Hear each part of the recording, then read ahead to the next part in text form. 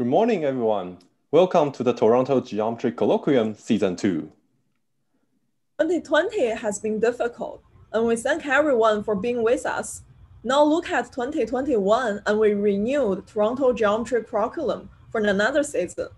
So this is a weekly web series all about geometry processing. This colloquium aims at promoting young researchers and researchers from traditionally underrepresented communities. Every week, we will have an opener talking about their cutting edge research for 10 minutes, followed by a headliner giving us a keynote presentation. And before we start our colloquium today, I would like to share a great news for young researchers. So let me share my screen. So, so this uh, this year, um, there's a great opportunity called the Summer Geometry Institute, and and this is a summer research program, uh, and no background is required, so everyone's welcome to apply.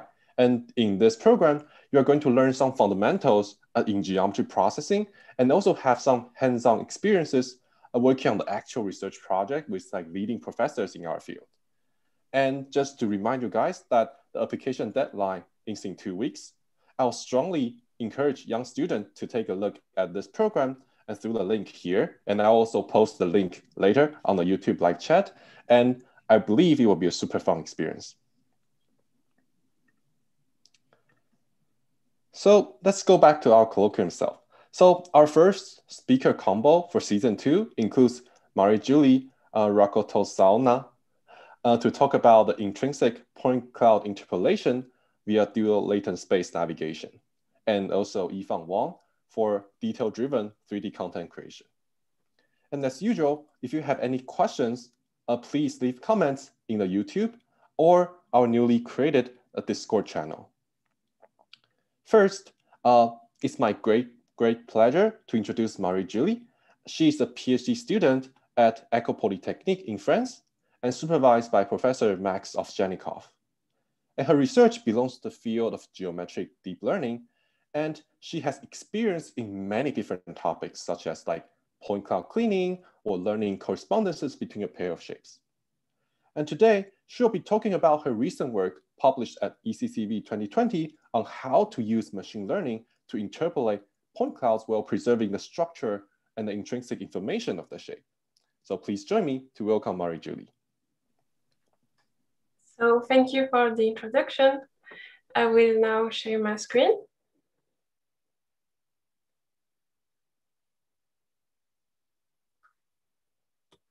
Okay, so if you can see my screen, I will start. This is our work from ECCV 2020, and it's about intrinsic point cloud interpolation. It's a joint work with uh, Maks Ovsjanikov, who is my PhD advisor.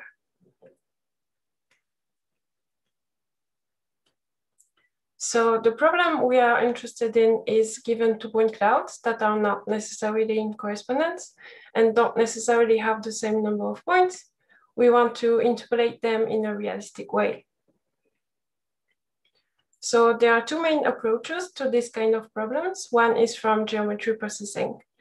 So the main idea is that you will want to find uh, geodesic paths in the shape in the space of shape, or find paths that minimize some given energy. The um, good aspect of this kind of methods is that uh, you minimize errors that is uh, theoretically well founded, and you have some um, guarantees on intrinsic properties, for example, during your interpolation. However, you need meshes that are in one-to-one -one correspondence, and this is not necessarily applicable to this uh, problem that we have. So we are also looking at learning-based methods.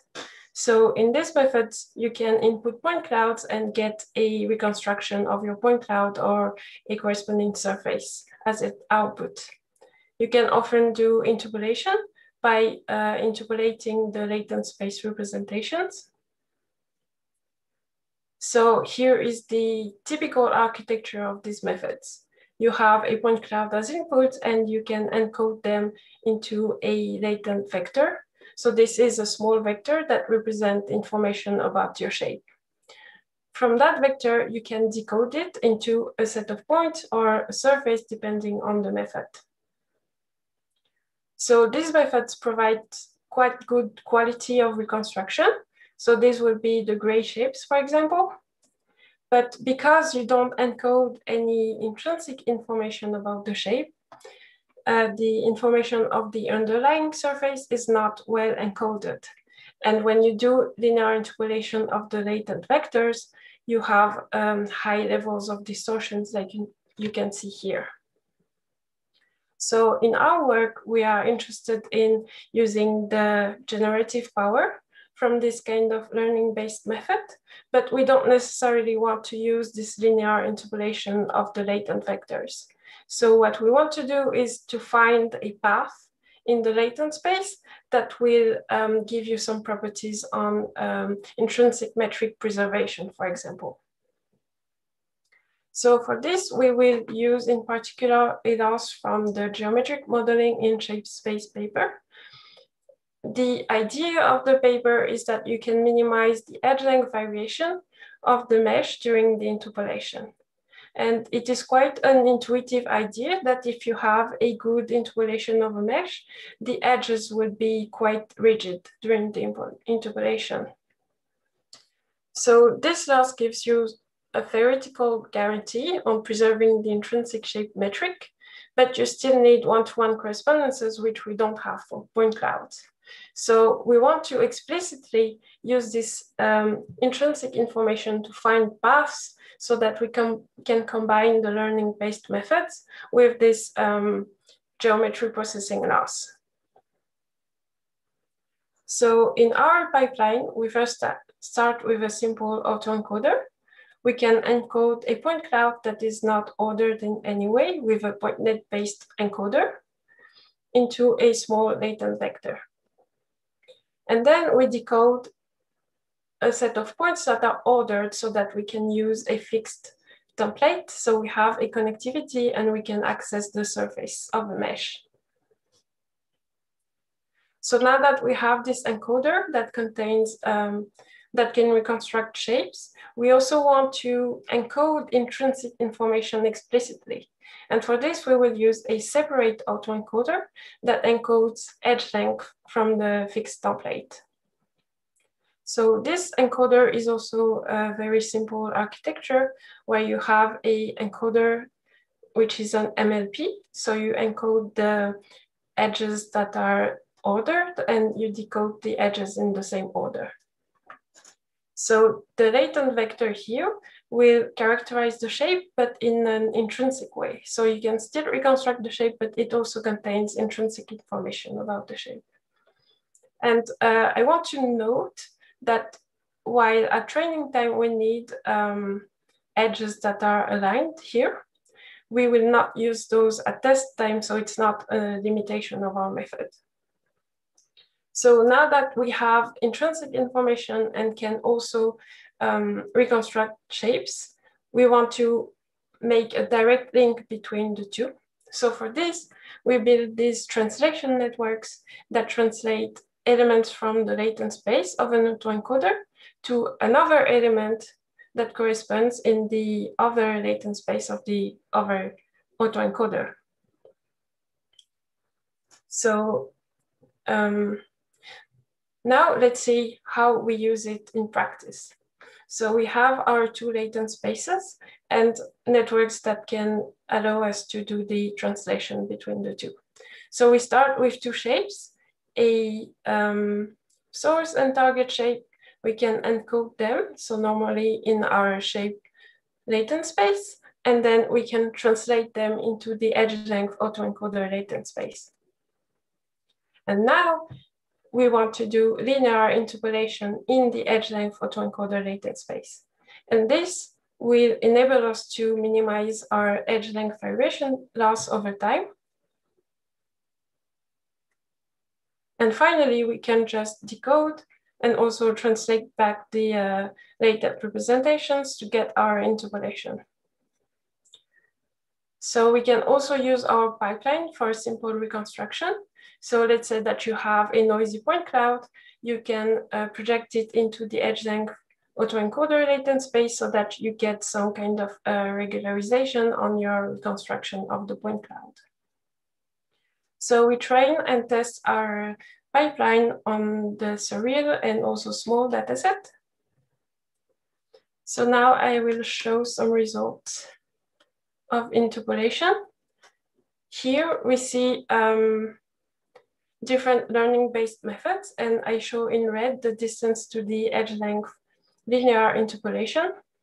And it also corresponds to um, distortions of the shape. And you can see that ours has less uh, distortions than other learning-based methods.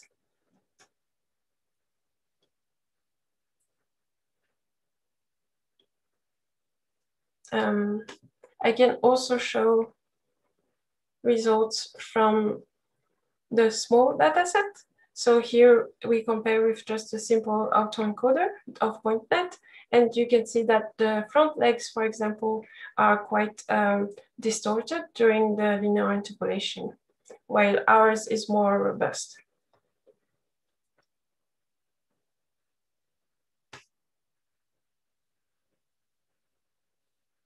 And finally, I also wanted to show some results of uh, reconstruction of noisy point cloud.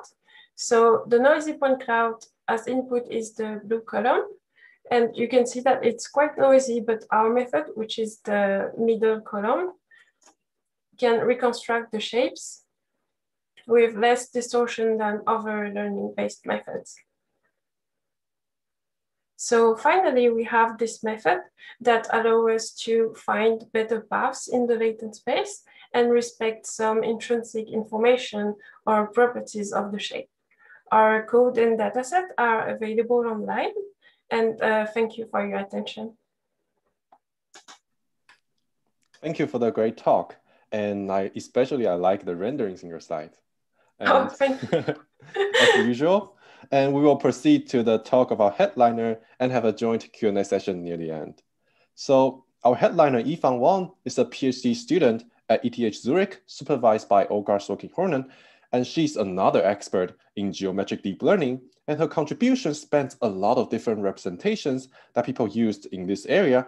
For instance, uh, she presented one of the first differential renderer for point clouds, and also for discrete mesh representation, she also combines ideas from classic cage-based deformation uh, with machine learning so that the model will be able to know how to preserve the geometric details during the deformation. And she's also the recipient of several awards such as like Apple Fellowship and Facebook Fellowship. So without further ado, please join me to welcome Yifan to talk about uh, detail-driven 3D content creation. Um, thank you, thank you, Derek. You're um, uh, well, you're making me blush. I just want to correct one thing. I definitely didn't receive several awards, and the Facebook awards is uh, I didn't receive it. I was just one of the you know final nominees. So yes, uh, and actually congratulations to the to the actual receivers. um, okay, so I share my screen. Right. Um,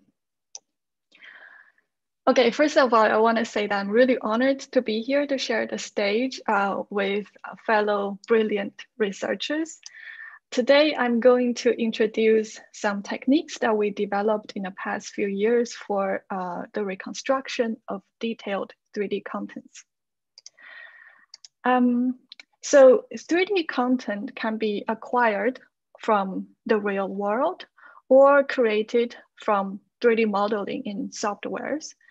Um, but either way, capturing and creating realistic, fine looking, uh, fine grained geometric detail is very difficult. Um, on the acquisition side, the acquired geometry is usually um, constrained or the quality of them is constrained by the um, hardware limitations as well as some under constrained acquisition environment. So having these imperfect acquired data, um, it requires us, um, or it gives actually demand to a lot of downstream geometry processing techniques. Um, I listed several here. And um, it's uh, it's uh, important to know that all of these downstream methods must deal with ambiguity and also it has they all benefits uh, benefit from some geometric priors. Um, on the geometry 3D modeling hand um, side, first of all, despite of some uh, very brilliant recent uh, advances to make this 3D modeling more intuitive, 3D modeling is still quite uh, laborious and it's also prohibitive to novice users. And the most important thing is that it's very, it's not scalable. So um, in order to produce more result in an automatic, automatic way, uh, it's still, we still need to do a lot of work there. So during the PhD, I've been engaged in improving the quality of both captured geometry as well as in facilitating and even maybe try to automate the creation of high resolution 3D shapes. Um, in the next 45 minutes or so, I will try to walk you through hopefully all of them. Okay, so the very first project I want to introduce is deep point set upsampling. And I hope to convince you with this project that uh, deep neural networks are indeed a great tool to replace some established geometry processing methods. And in particular, with carefully designed network architecture, we can have a huge impact on the quality of the outcome. The goal of this project is to reveal fine-grained details from unoriented point clouds, even for high upsampling ratios, and for, in particular, very sparse inputs. If we look at previous optimization-based classic point upsampling methods, they typically rely on some handcrafted priors, and they can focus on sharp creating sharp features, but they tend to over smooth the point cloud without when, when there is no strong cues from the point normals. And this motivates us to learn more, uh, more descriptive geometry priors using data that we learn from neural net networks. Um, so there are already deep methods to do this task. But looking at the previous methods, we realize that the output actually degenerates quite fast when we increase the upsampling ratio and also when we make the input increasingly more sparse. So um, if we so think about this problem, a naive solution to this observation could be that we can maybe augment the training data with more sparse inputs or we can, uh, well, for in order to arrive at a higher upsampling ratio, we could probably apply the same network um, multiple times in an iterative fashion to achieve the high upsampling ratio. But our tests show that neither of these approaches yields satisfying results. And this is most likely due to uh, limited network capacity when it needs to handle a big variation in the inputs and it could also, uh, in terms uh, of the iterative approach, it could be because of the error accumulation from the previous iterative steps. So um, how do we address these um, problems and challenges? Our key idea is to learn geometry informations from multiple scales. And for that, we need to design a multi-step um, patch-based upsampling scheme. And the core idea is that there is an adaptive receptive field so that um, when we focus on more um, large scale geometry, we have a larger context that gives us information. And when we want to refine the more fine-grained details, we focus on rather local information. Um, actually applying directly this idea to existing um, existing deep works already gives us quite a big improvement, a visual, a visibly uh, visible improvement. And this is uh, because with these different scales, we are able to capture global information from the courses level. Um, but you can still see um, there are some artifacts in this uh, upsampled result. And this is mainly because there are still some accumulative errors from the previous steps. Um, but this can be actually alleviated quite easily by training the all the levels jointly in a progressive fashion. And here we can see that in this tool example, the result is uh, uh, definitely correlates to the um, to the desired output, the number four. Okay, so from here, we ask ourselves, can we do even better?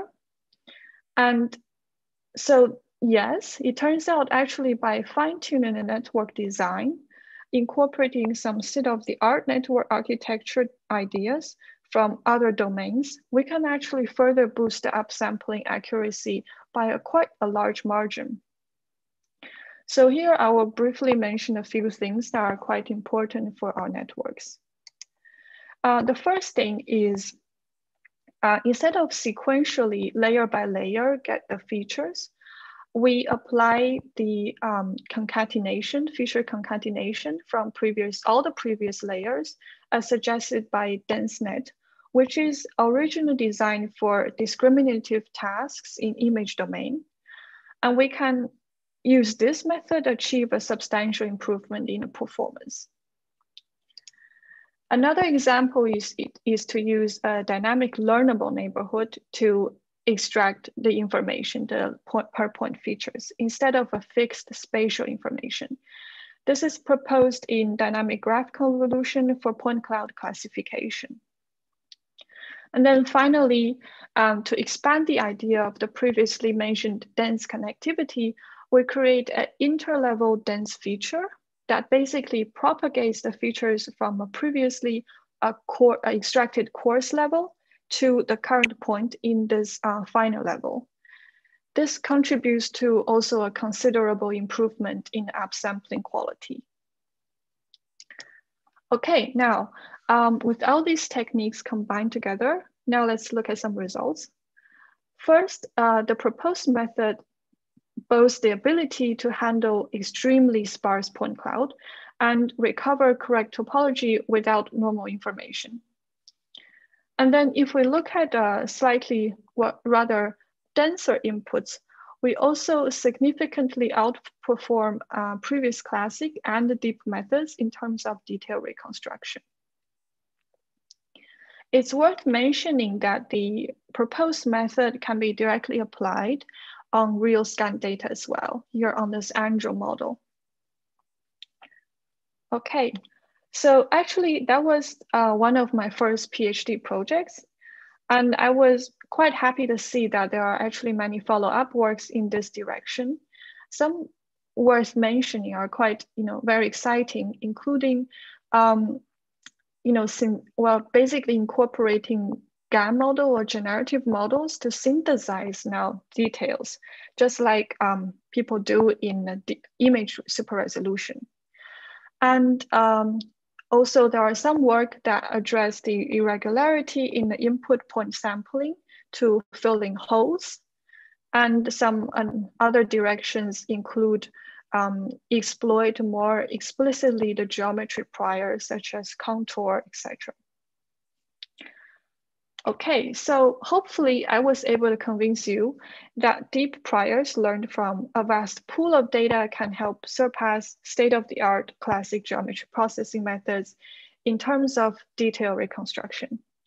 But it must be said that 2D deep priors are easier to learn than 3D, mostly because the amount of data available, and also um, uh, quite importantly, because unlike 3D content, 2D images, they live in a uni, usually represented in a uni, they have a unified representation using a 2D grid.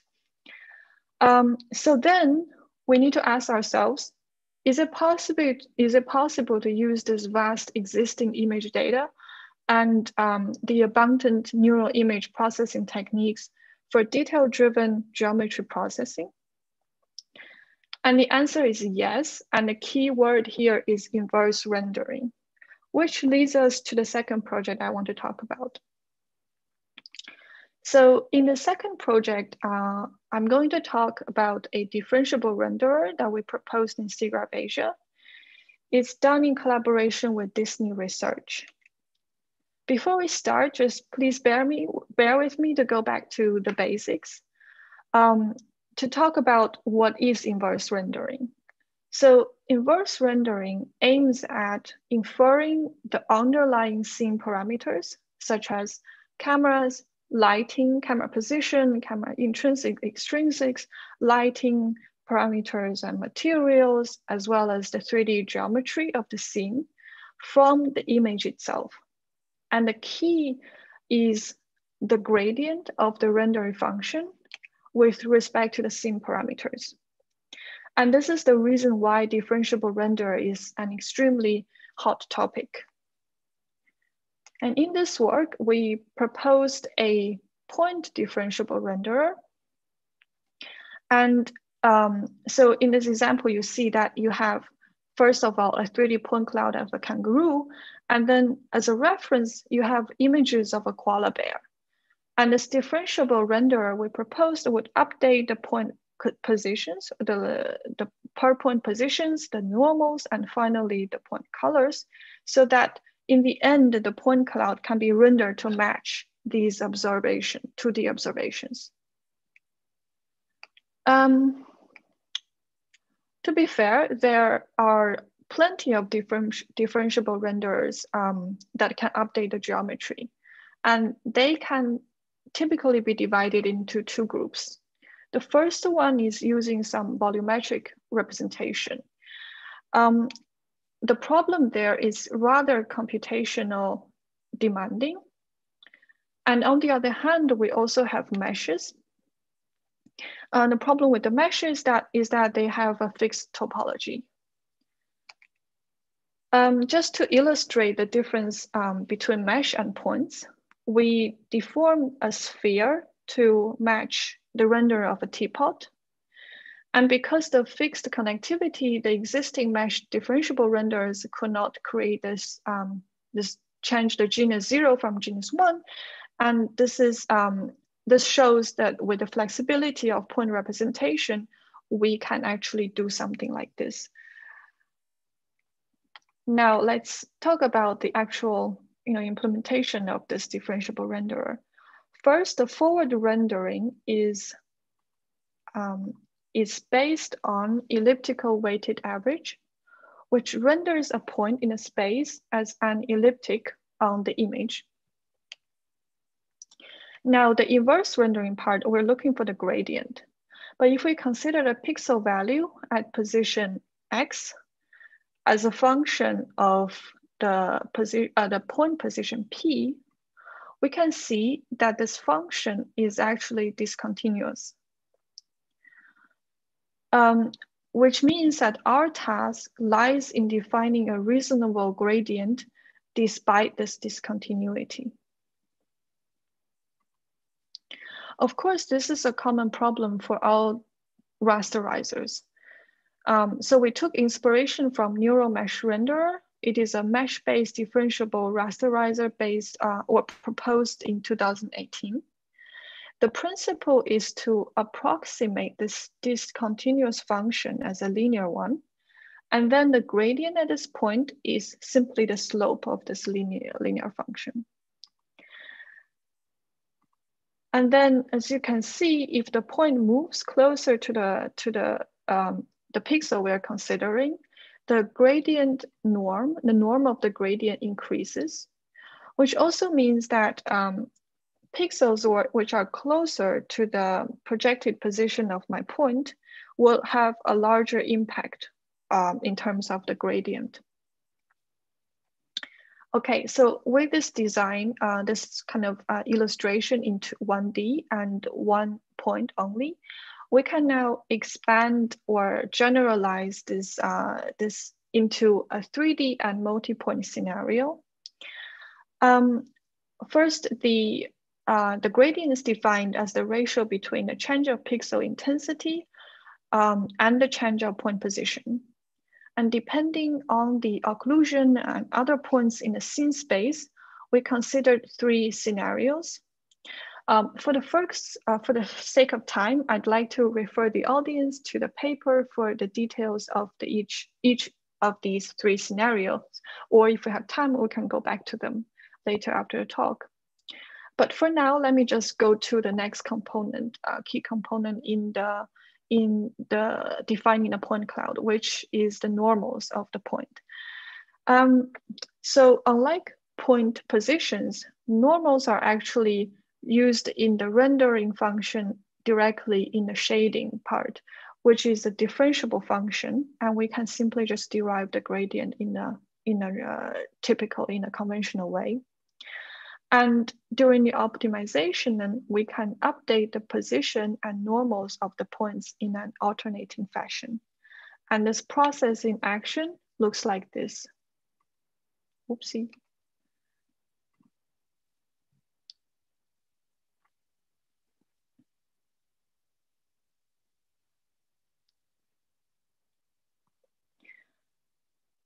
Okay, so points have no hardwired connectivity, which is the reason that they have the flexibility to undergo large deformation without topological constraints.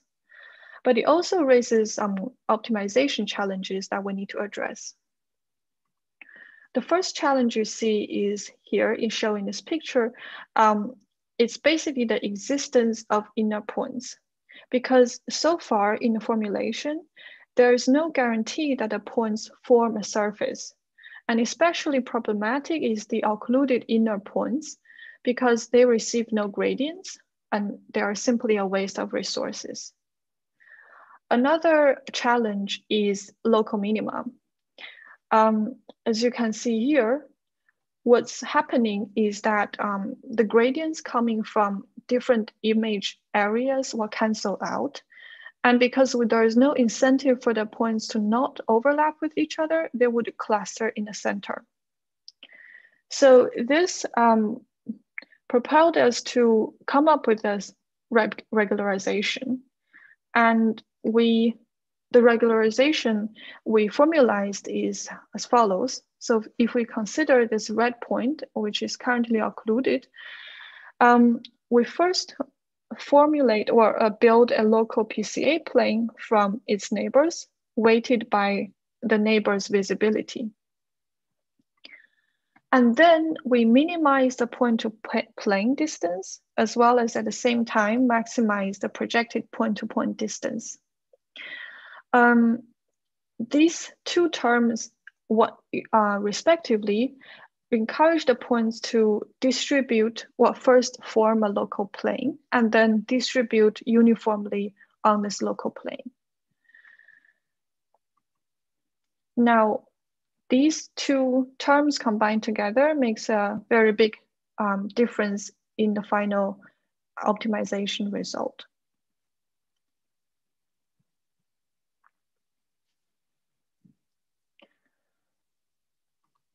Okay, now let's back to the original quest to leverage the advantage of neural image processing networks for geometry processing. And with the differentiable neural network or differentiable renderer, we can now apply um, advanced neural image processing networks to classical geometry processing tasks. And one of the tasks we showed in the paper is point cloud denoising from image denoising. So what first did is that we trained a image, a pix to pix network in this gray, shown here in the gray. Uh, we pre-trained it offline using rendered images. And this is, um, you can see that the, in these examples, the denoised image, they have, a, you know, they are, they are definitely more there's more detail and both hallucinating and using this um, pix, uh, pix to pix generative power um, and also quite stable because it's a condition on these, you know, the cycle um, construction of pix to pix.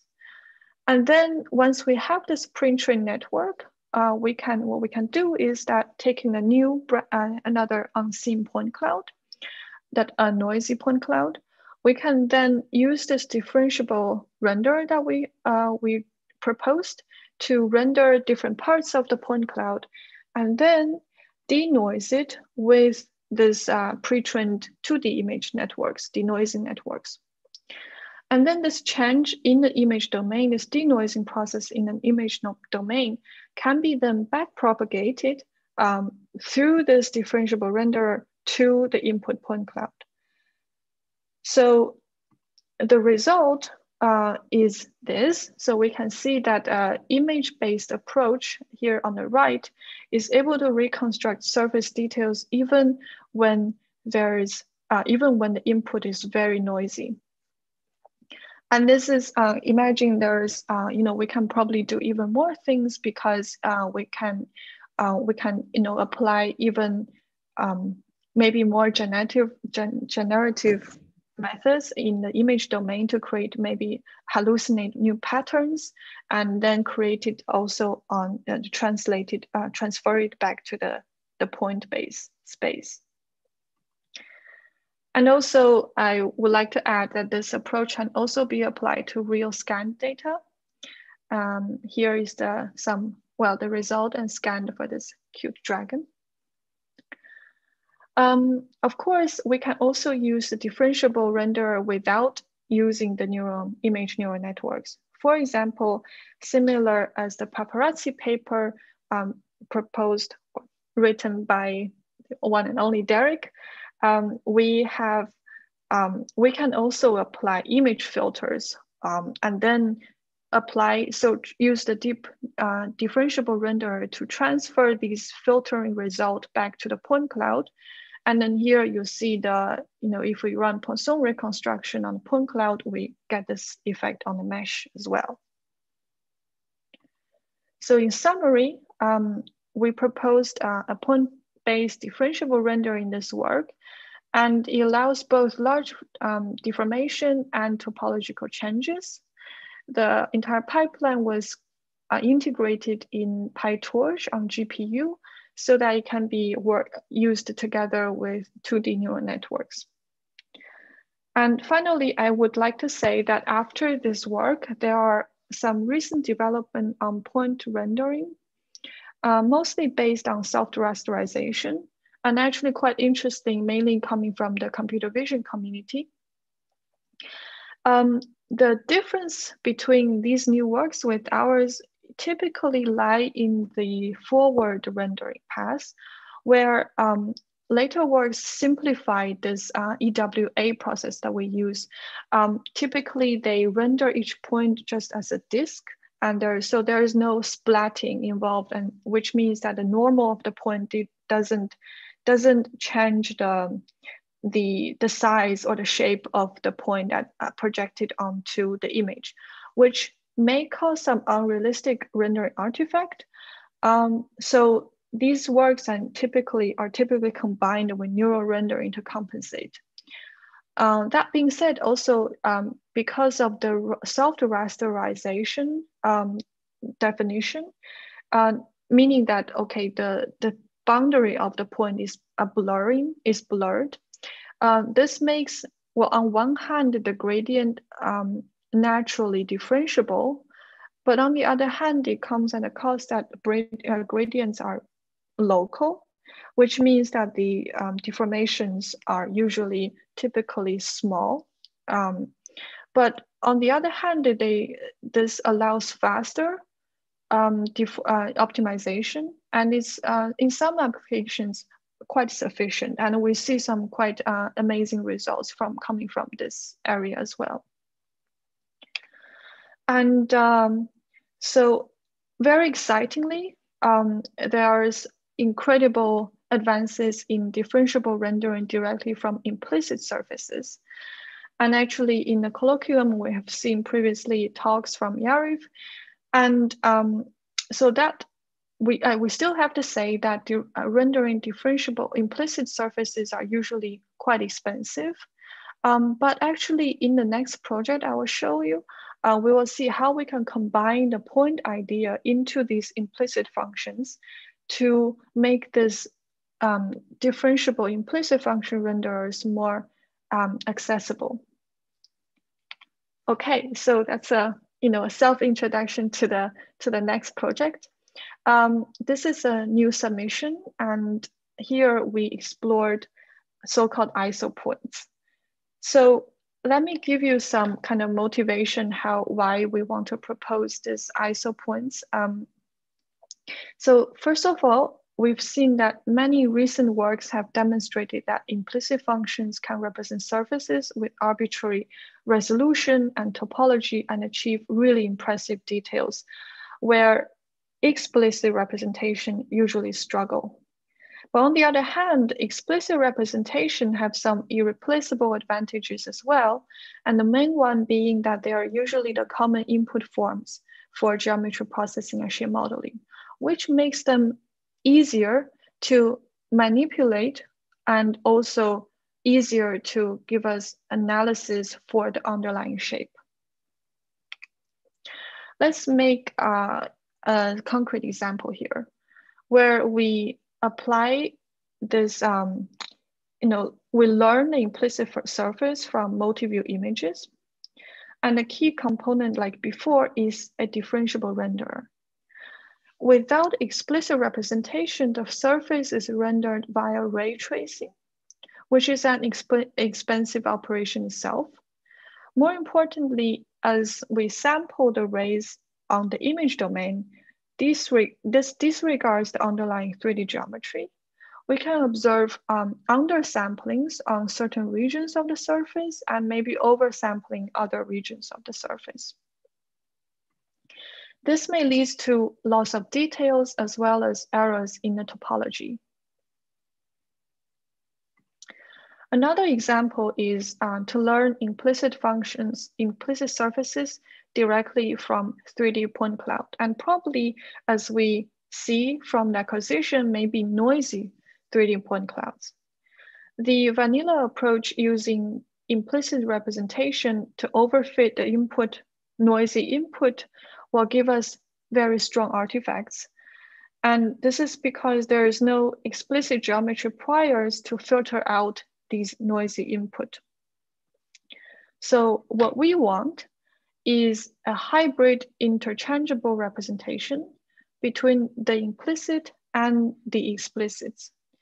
So that in addition to the topological and resolution free uh, and infinite resolution advantages made possible by the implicit representation, we can also have a corresponding explicit representation, which are efficient to manipulate to, and to analyze, so that eventually we can adapt the optimization process to the input data and the underlying geometry. The conversion from implicit to explicit already exists. And Marching Cube is the to-go method uh, for this purpose. However, its complexity grows cubically with respect to the resolution. Instead, we want the, uh, the conversion to be online, so we need an efficient algorithm not at the expense of surface details. So for this purpose, uh, we propose to use points. And we call these points ISO points as they live on the ISO surface. They are efficient to extract and they allow spatially variant density if desired. And in the next part, I'll briefly walk you through the extraction of these ISO points. So the first step in the extraction is a projection step, which means that given an initial point cloud, let's say uh, initialized on a sphere, we use Newton method to project these points to the closest zeros of the sign distance field. Now, this gives us a this you know second point cloud that probably have holes. So we have to fix these distribution artifacts from the projection um, by applying a uniform resampling based, uh, based on repulsion. And then um, after that, we reproject the points again using the Newton method. This gives us the this third point cloud. And depending on situations, we might want to have a much denser point cloud.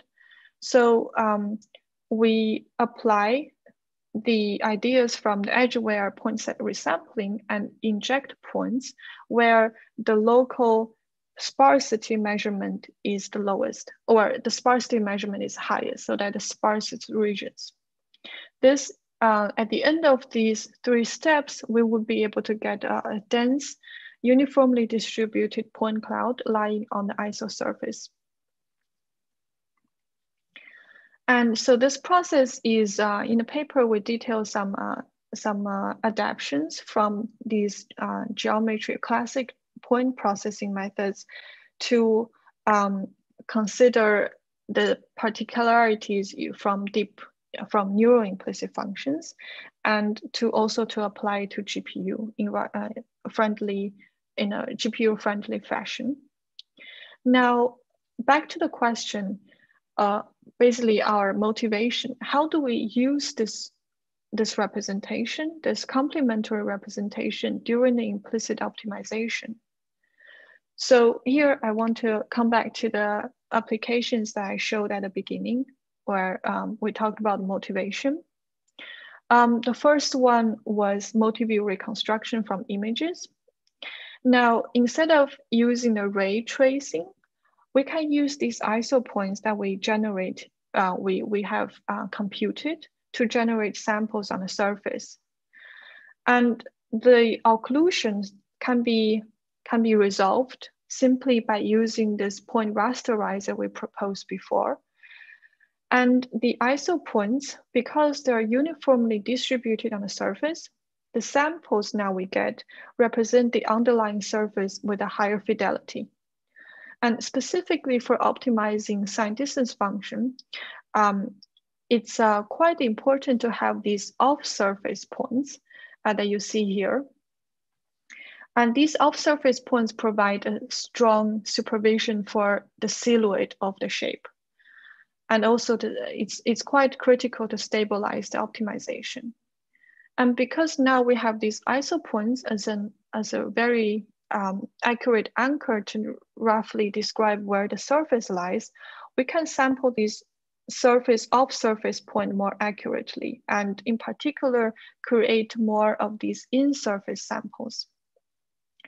This turns out to be quite important for um, to, to, to learn this uh, surface without art, uh, without artifact.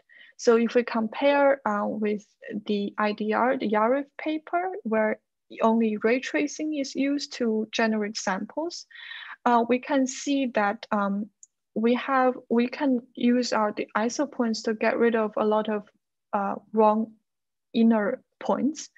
Um, so to get rid of the uh, topological errors um, basically shown in the inner structure of the shape.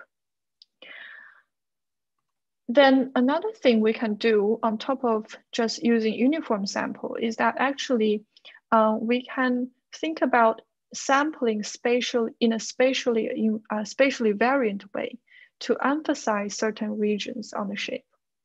So maybe we want to emphasize curvature, high curvature areas because maybe these areas are usually undersampled. Or maybe we can just apply the idea of hard example mining in training to um, get a matrix on the on the point um, where the current loss is high, and then sample densely around that region.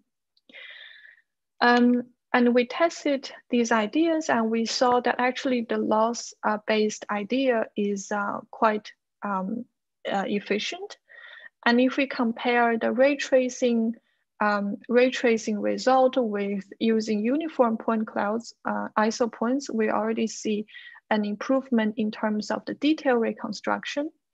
Um, but then once we added this uh, adaptive importance sampling based on the loss, we can see another, um, another update, another boost in the details.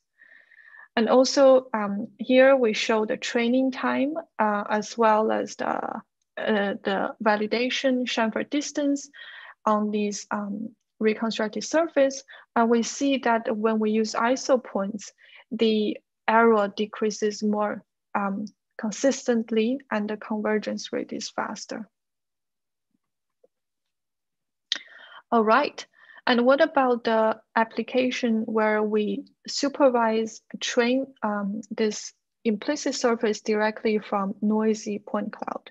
So the input and the supervision is both noisy. Uh, it turns out that we can exploit the fact that usually the overfitting to the noise happens in a lower in a in a later stage of the training. So we can extract ISO points at the early stage of the training and assume that these ISO points are typically smooth as we see here. And then we can use these ISO points to um, to um, apply some, to understand the geometry and apply certain priors, geometry priors. And one thing we try to do is to use these ISO points to compute where is the, which are the outliers of the input. As you see here marked in red.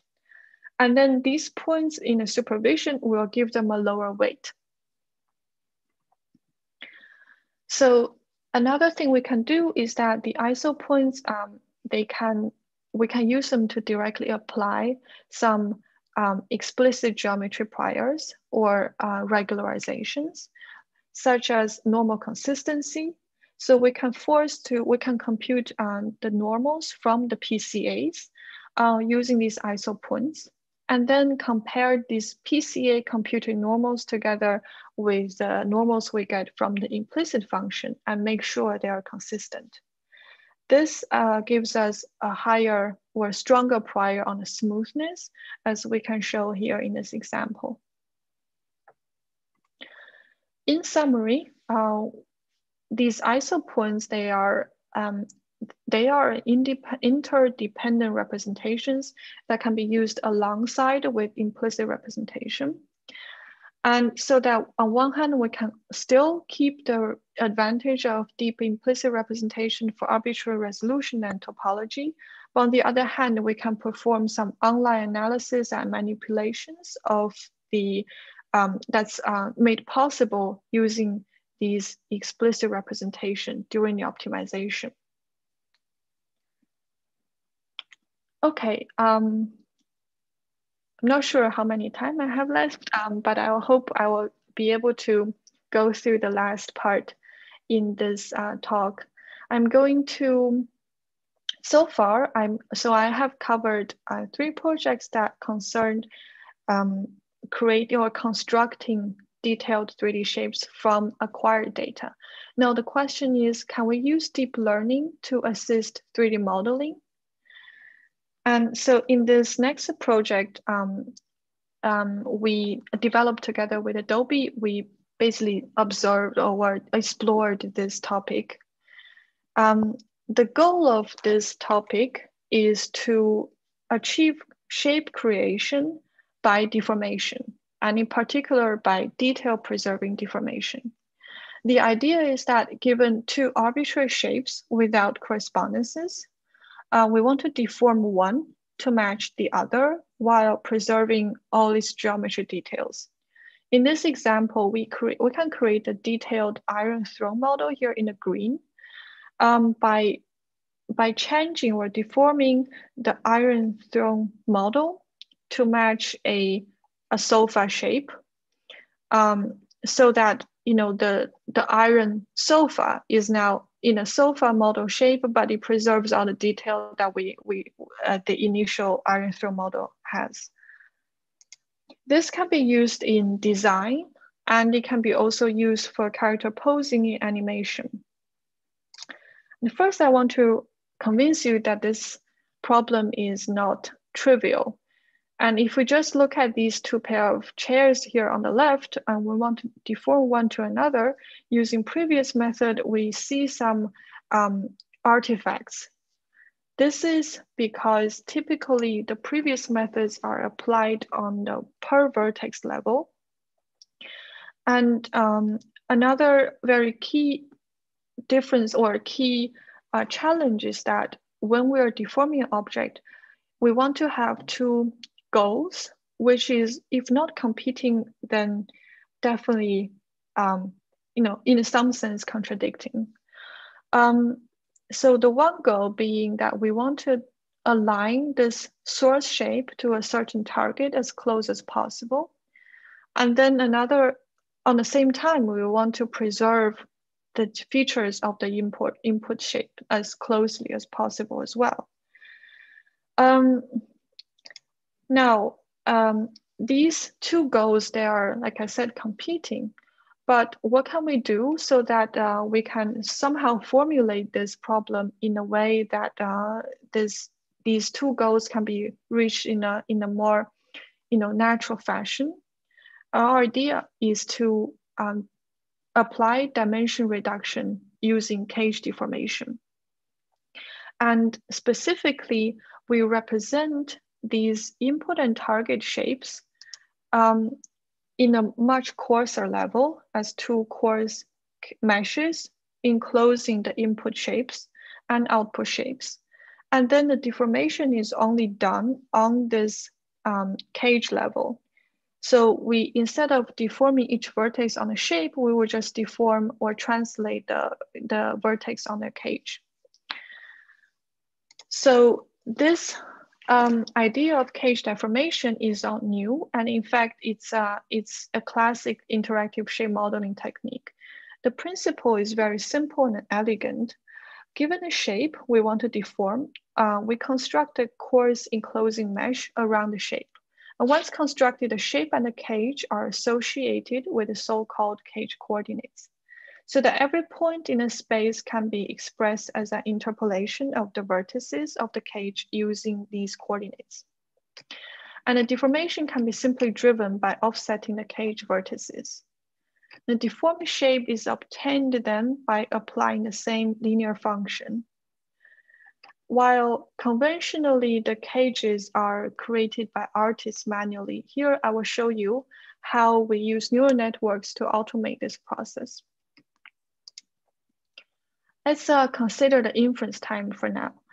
Um, given this, uh, well, a source and a target shape, we first use a very um, classic network, AtlasNet, for point cloud processing to predict a source cage for this input a condition on the source shape. And then having the source cage and source shape, we're able to compute this cage coordinates differentially. And then another network um, sharing the weights can now, sharing the weights with the previous cage net, can then um, take in conditioning on the target shape, and now you can um, transform or translate each vertex of the source shape so that um, an offset is added to the source cage to finally give us the deformed cage. Now with this deformed cage, we can simply apply the same coordinates, cage coordinates we computed before, and this would give us the deformed shape. And because this interpolation is smooth by definition, the local geometry details can be preserved naturally. Now you may ask, how do we train this network? Because uh, how we don't know how the cages should look like. There is simply no training data for this. It's important to note that we don't supervise these cages uh, directly. Instead, we consider the key objective for the deformation, which is, well, one, good alignment between the source and the target. And then second, we want, um, we want good feature preservation, which, which is already partially guaranteed by this cage, um, by this cage formulation. So we apply for the first objective, this um, point-to-point -point distance measure uh, to enforce shape alignment between the target and deformed. Here we use the chamfer distance.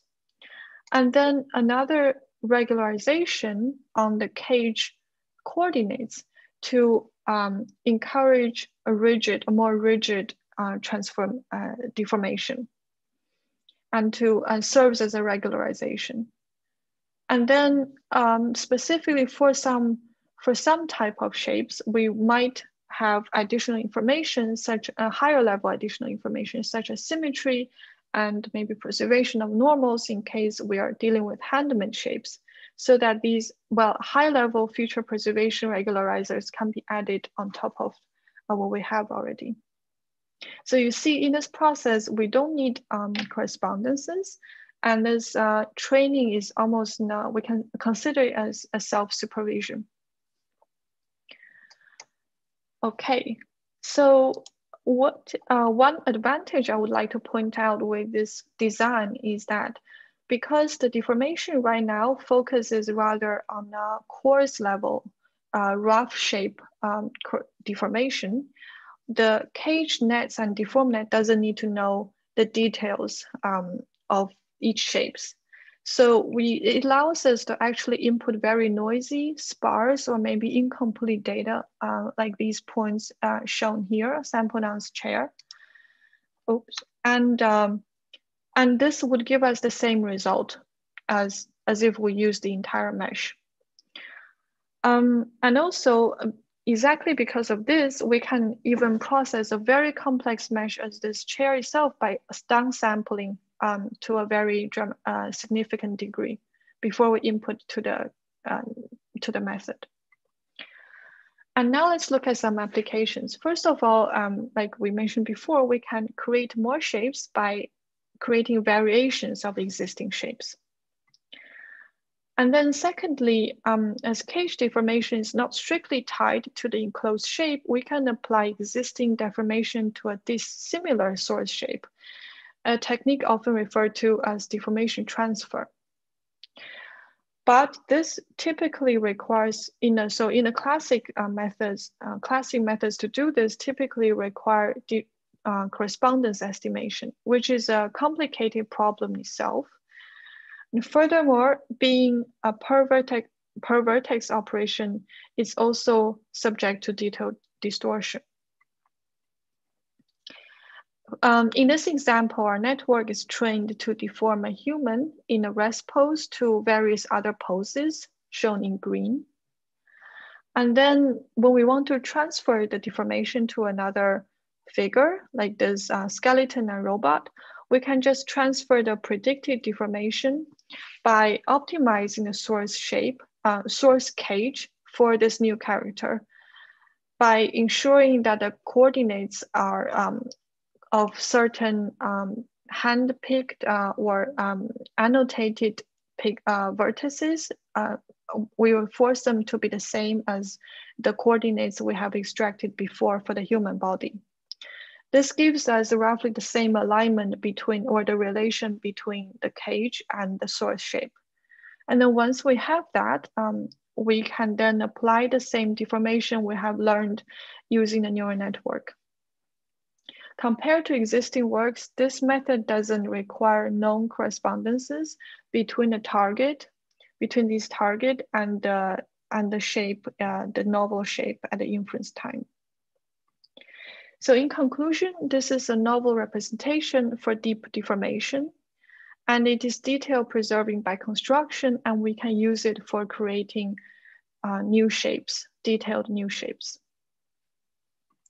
So yes, this is, so far we talked uh, about three projects that um, focus on constructing details from acquired data and then a project for facilitating detail-driven shape creation using deformation. Thank you very much. And um, yeah, um, now it's time for, for questions. Thank you both for the, for the fantastic talks.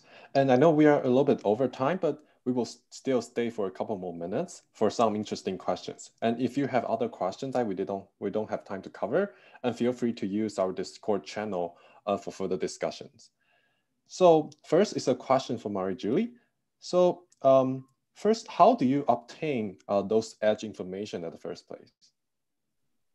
Uh, so thank you. This is an interesting question. So um, the edge information is mostly there to represent intrinsic information, right? So in our pipeline, we use the edges from the um, template. So we have this uh, template of fixed connectivity on our point cloud and we measure the edges from there. But um, even if you didn't have that, you could measure any edges on your point cloud by using any uh, meshing or connectivity. Oh, okay. So perhaps you could use like KNN graph and just get a, a set yes, of edges? you okay. can even do it. Okay, understood. And the next question is for Yifan. So uh, you have briefly mentioned about the those NeRFs paper like neural radiance field, and could you uh, comment out some? How do you uh, compare your point cloud based differential render with those NeRFs based uh, papers, except the complexity issue you mentioned? I think you're muted. Uh, yeah, thanks. Um, thanks for the question. Um, I think um, I would definitely say that the NeRFs paper, they have really demonstrated fantastic results, especially when it's com combined with neural rendering, uh, neural texture, etc. And I think um, to the, the, um, the difficulty with using point, um, besides um, being very flexible and maybe sometimes under regularized, um, is that points we, we need to we need to have a sense where the points are on the image. And this is usually, well, right now we're using this, we're getting this information from uh, the rendered mask, this alpha mask. Um, but if we don't have this background separation, um, NeRF paper, because it's on based on radiance, it's able to actually um, estimate uh, in the wild even though there is no sense, uh, there is no previous knowledge, prior knowledge where the, the object lies. So I think on that regard, it's a very, uh, it's definitely uh, a um, advantage. And uh, I think the quality of the rendering, we have seen that uh, if we consider the rendering, then um, you know the radiance-based function uh, is definitely together with the neural uh, texture is able to render in a um, uh, with better quality for sure. Um, I do think that these two methods, the NeRF paper and the point-based methods, they can be combined. Um, and so one thing we we considered is that actually the the regularizers we propose they can be maybe um, replaced with the implicit function, um, so that you know, these two can help with each other, right? On the one hand, the regularizers from the implicit function will help the point to distribute nicely and actually form a surface. On the other hand, the point their point rasterizer is still faster and maybe can um, help with uh, like uh, the third project, help with the optimization of NeRF uh, itself. Yeah, that sounds like a very interesting idea based on your successful experience with the hybrid representation you're like ISO points, right? Mm-hmm. Yeah. Okay. And another question we have is for Marie-Julie. And uh, have you considered to preserve some uh, local rigidity, such as like the as rigid as possible energy instead of just the edge length? So um, the loss that we use is actually quite close to um, as rigid as possible energy, right? And uh, so we didn't uh, try explicitly over losses, but um, I think it should be possible to use other losses as a minimization. Okay, thank you. And there's also a question for Yifan. Uh, you mentioned that uh, Poisson surface reconstruction over smooth some noisy point clouds. And would there be any advantage of using uh, like differentiable Poisson surface reconstruction so that uh, you can, like the model can learn a point cloud that which uh, surface construction can create a detailed surface. Oh, that's a very interesting idea. I I haven't um, looked into this, but I think yeah, I this idea already sounds very exciting. I I will definitely have a look into this. Okay, thank you. And that now is the last question for both of you. So uh, both of your work tackles the problem of like structure preserving shape interpolation or deformation. And Marie-Julie's approach used like a local edge information, and Yifan relies on like global cage-based deformation. So could you comment on each other's work on the benefits of using uh, this local versus global uh, approaches?